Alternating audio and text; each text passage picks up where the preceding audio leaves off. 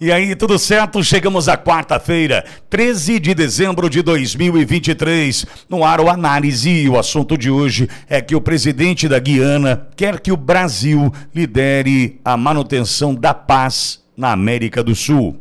Vou te contar a partir de agora. O presidente da Guiana quer que o Brasil lidere a manutenção da paz na América do Sul. Na Venezuela, o presidente Nicolás Maduro divulgou um mapa que incorpora parte do território da Guiana.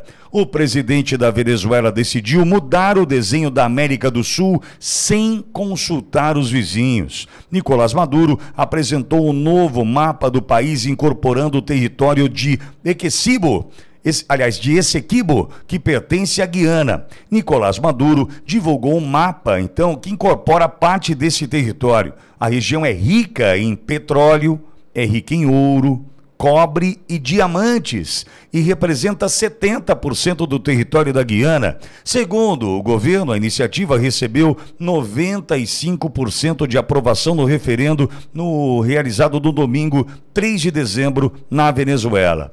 Na semana que passou, a Corte Internacional de Justiça decidiu que a Venezuela não pode tomar medidas para anexar a região de Essequibo, mas na última terça-feira, Maduro chegou a anunciar a liberação de licenças para exploração de petróleo naquela região, como se já estivesse dominada a região. Na quarta-feira, 6 de dezembro, a Guiana acionou então o Conselho de Segurança na ONU para que o assunto fosse então discutido pelas Nações Unidas presidente da Guiana, ah, manifestou-se então em uma entrevista exclusiva, né, a jornalista Júlia Dualibe, da Globo News, onde a Ifan Ali, presidente da Guiana, disse acreditar que o Brasil pode ajudar a evitar um conflito com o seu país com a Venezuela.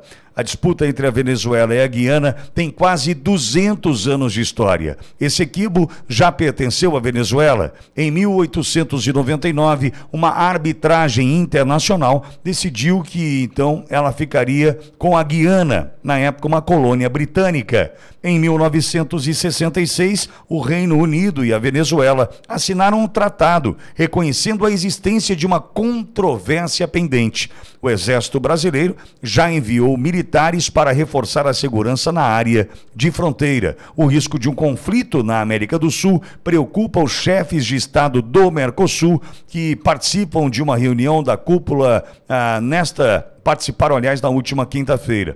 Desde 2017, a Venezuela está suspensa do bloco do Mercosul por violar o protocolo de Ushuaia, que exige que todos os sócios do bloco respeitem os princípios democráticos. Olha, tem só um ponto que me chama a atenção com relação a esse iminente conflito, que é, primeiro, a fragilidade da Guiana, em especial nas questões bélicas militares, e depois o que tem naquele solo por que buscar, então, né, tomar parte de 70% desse território da Guiana, ah, sabendo que ali petróleo, ouro, diamante, cobre estão à disposição daqueles que estão ah, ah, ali dispostos a explorar?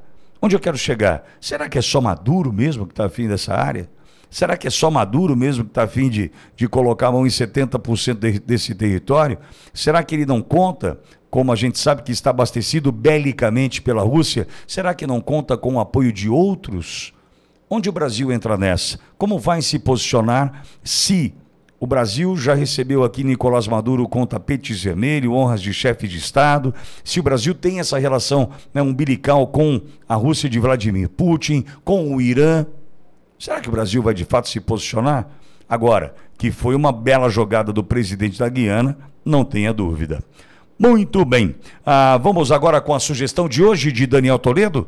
O vídeo de hoje vai te contar que o Congresso americano aprovou o visto E2 para Portugal.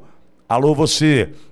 Eu repito, a dica de hoje: Congresso americano aprova visto E2 para Portugal. Dica desta quarta-feira de Daniel Toledo é só clicar por aqui. No canal eu volto amanhã. Até lá.